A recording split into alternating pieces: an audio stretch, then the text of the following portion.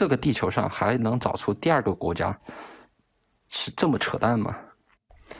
你全整个地球还能找出第二个国家、第二个政府像这个样子搞吗？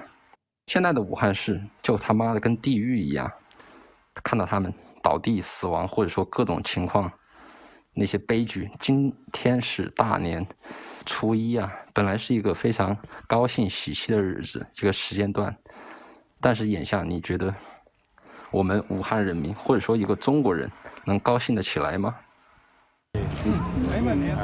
？Xi has really lost control of the narrative, um, and he's struggling to get it back. Now, if that goes on, uh, if they don't get on top of the virus, then that can really damage Xi's image, I think, even with ordinary Chinese people. And that has pro potentially profound implications because two, three years down the track, when he's meant to be reappointed, maybe his enemies will use this against him.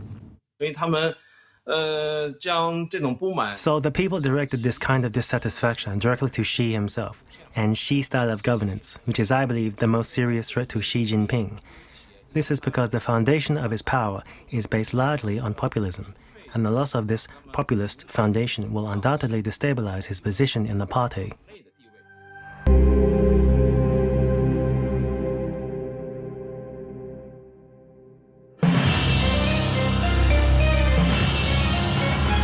You'd like Four Corners investigations delivered to your inbox, you can sign up for our newsletter. Go to abc.net.au slash four corners.